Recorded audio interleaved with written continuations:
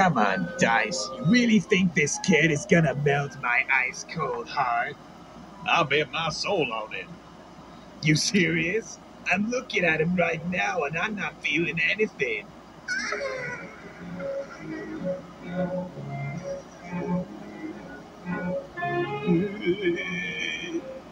well, looks like I won the bet, boss. Shut it, Dice.